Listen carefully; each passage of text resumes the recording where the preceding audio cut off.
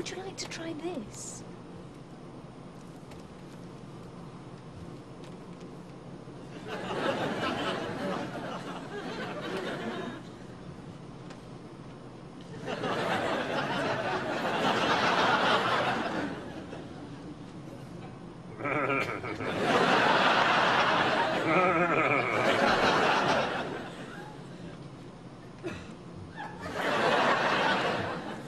You feeling any better?